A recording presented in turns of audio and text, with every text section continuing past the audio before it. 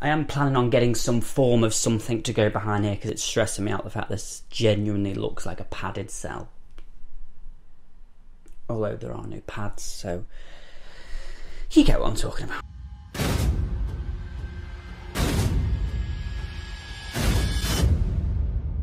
Hey guys, George Alexander here, and today it's the 2nd of October. Yes, it is. And I thought, seems it's a new month, I would do something really, really original. Okay, so just don't be shocked at the originality of this video, please, because, you know, I don't want others catching on to my original idea. I went into London the other day and went shopping and I thought why not be really original and do a September favourites video now it's in October and you are all going to enjoy it so let's go. Okay so the first thing on my list which I didn't buy the other day I did buy the other week if you've got me on Twitter you might have seen it but it is the new iPhone 8 Plus. It's gorgeous. That's what this is the box. I didn't just buy the box. It's not like when you go to an arcade and you see an iPod box. Remember those days? God, I miss being a kid. So this is the iPhone 8 Plus. It's not really too dissimilar from the 7 Plus. Before this, I had the 6S, just a normal phone, and so I kind of wanted a. I've always wanted a bigger phone. I don't know why. So I pre-ordered this the other week, um, and then I was able to go and pick it up. When did it get released? Like, was it last Friday or like a week? No. Whenever it was released a couple of weeks ago, and I was so happy with it. And to be fair, when I first got it, I was like, because the size is different, obviously, from the having the six. But I really, really like it. I like, and I've got, I just really like it. And it's got this is um, I went with the space grey, although it's kind of black. I think the space grey is supposed to be the side part.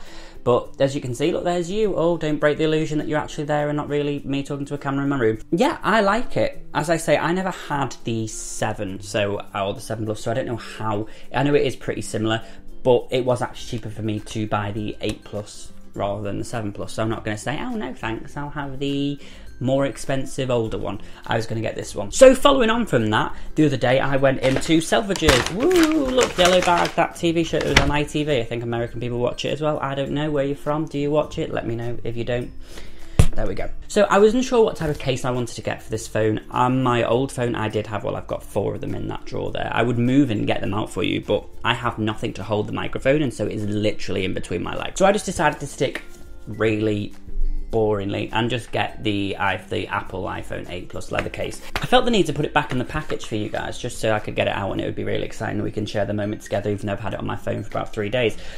So this is the case. It's really, it's not too thick. As I say, I did have my old phone. I had the LuMee cases, which I did a review on, which are great. But I spoke to the guy in Apple, and he was like, "Yeah, like for the iPhone 7 Plus or 8 Plus, the 8 Plus versions, it's bulky enough. So having the the light on the back is also it like it'll be ridiculous. So I just stuck with the leather case. How much was it? Jesus Christ! Why? I only bought one item. So that was £49. I didn't realise that. Okay. It shows how much I listen when I buy things. I'm just like, yeah, just take my money, please. Um, so this is the case. It's literally, um, I wanted to get, I prefer the case on it. Although I do like the back of the iPhone 8 because it's kind of got the glass, but I am the most clumsiest person in the world, so this is probably a lot safer for me to have. So as you can see, it looks exactly the same. You can't really see that. Oh, you can see it. Oh no, you can't. There it is. Look, there's the Apple logo, just to be like, even look, I'm an Apple user. Yay, look at me. I'm a massive wanker. Okay, next up, I went to Versace, and I was really desperate for underwear since I moved here because I just kind of threw things in a case when I moved down. Um, moved down, yeah, from um, Liverpool. So I didn't bring everything, and I was like, damn, I need underwear. And I was like, you know what, I'm going to splash out and buy some. And so I bought these Versace underwear, which, yeah, I don't know why. This is such like an, it's not an appropriate underwear. You know, like we, as British people, I think we're a lot more reserved. Like, oh my god, he's showing you underwear he bought. Like, I'm, I'm not stripping, don't worry. But yeah, so I got these, and I really like. I do have a white pair of these, but I really wanted the black ones. So they're cool. They've got like the gold banner and then the Versace sign on, and they're really awesome. So I'm really happy with these. As I say, I have the white ones. So if you're ever looking for underwear, guys, girls, these were £35 for a pair, so I didn't think that was too unreasonable. I obviously think that I am someone or something special. I'm spending money like bloody keeping up with the Kardashians. But hey ho, life's short, and you got to you can't spend it on your dad, can you? Wouldn't that be really awkward if you could, and then knew everyone like who's dead has got no money because they've all spent it. And the final shop I went to the other day was Harvey Nichols. Hello. I needed some new jeans, and I was desperate for a new pair of black skinny jeans because my ones are like, you know, the proper skinny jeans. So they get when they're washed, they could start to fade, and it was really stressing me out. So I bought myself some new ones. I'd never even heard of this brand, um, but I'm not very up on like too many brands. They're called True Religion. Um, I was I was looking to Levi's, but they didn't have any in the skinny, so I went with these. I mean, they're just a pair of black skinny jeans. I mean, I don't know why. You know, isn't the, the internet weird that I feel the need to show you things that I bought? So this, that's it. True Religion. Can you see that? Probably not because this has got the word there. Hello, True Religion. So yeah, these are awesome. I really like them. They're a really good fit. And how much were these? They were 165.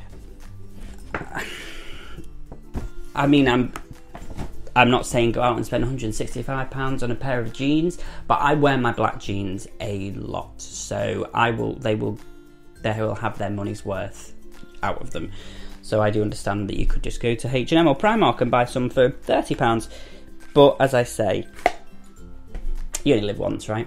On a second note, I thought, you know, since you've all been screaming and asking me for to do it, and nobody's actually said it, but I thought, you know, to really add to the fact this is the most original video ever, we could do a house tour of my house that I'm living in with other people that I'd never met before until two weeks ago because rent in London is ridiculous. So let's take you on a quick journey of this house that I've moved into. You can see it, you can pretend that you like it it'll be really short. This isn't a Zalfie house. I don't have 100 bathrooms or 29 bedrooms or a tent pitched in the garden or uh, Niall is not running around. So don't worry, this isn't going to be like. I'm just reaffirming this isn't going to be one of those house tours that people put on to prove that they've got a better house than you.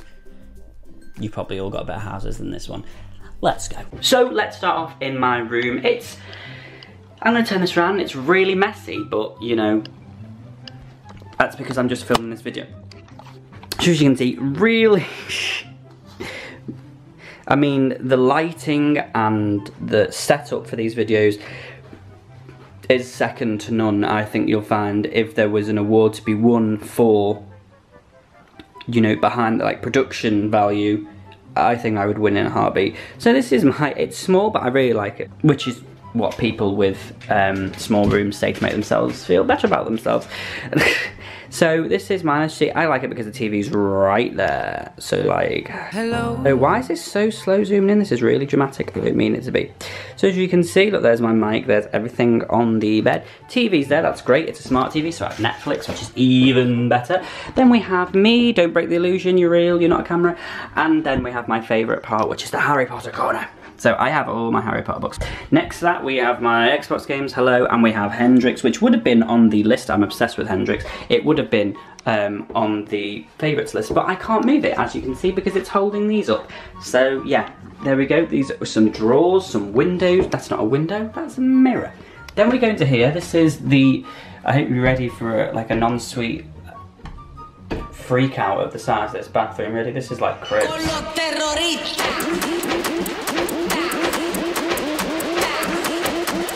Would you look at that? It's just a window. No, it's...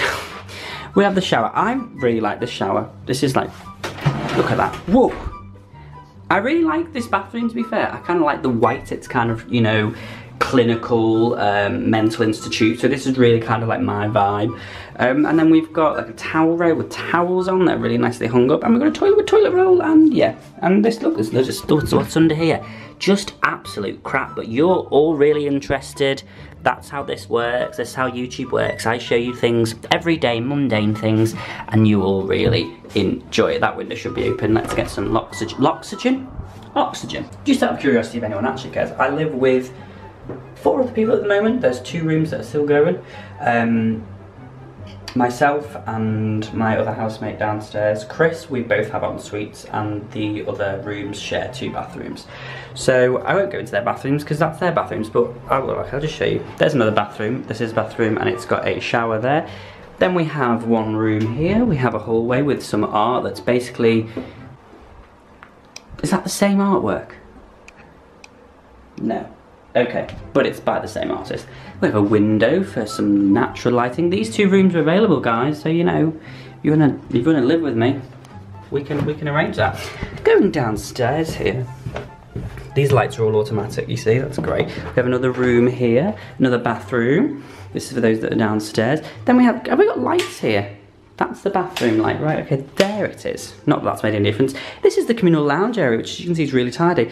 We've got another room there and another room there, and we all sit down here um, when we've all got time. It's weird because people work different shifts in different hours, but when we do, we all do kind of get together and we'll chill and watch we've been watching Dr. Foster. I've got one of my housemates, Adib, to watch Dr. Foster. He's obsessed with it. And he's like, when's the next episode? And I'm like, exactly, it's Tuesday. You better all watch Dr. Foster if you haven't already. Also, fun fact about this house is um, this room right here, which is a bedroom, is, um, well, it's probably not the bedroom tour of the whole house, it's haunted which was nice to know. We found out the other week that this house originally before, because this is new, this is all newly renovated, like a couple of months, this used to belong to an old man and that used to be a garage.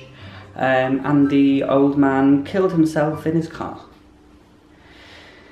Um, which was also led by the fact that Rachel, who lives in this one, she was the first housemate to move in on her own. She was on her own for about a month and she said, like, these lights that are all, um, you know, automatic, there's one up the stairs there and she said that one they were down here and that one turned on which is really scary because you have to literally be up there to turn it on.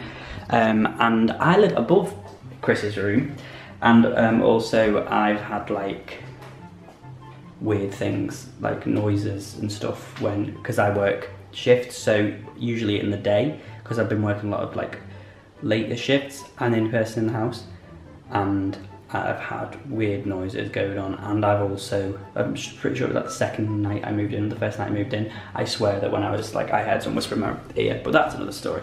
But yeah, so that just thought was a little added bonus to this house, that it's haunted, so yay, most haunted, here we come. This is the kitchen, I really like the kitchen, I kind of like the colours, I like the glossiness of it. Um, so yeah, we've got a big cooker with loads of different, that's also, do you know one of these is actually a microwave as well?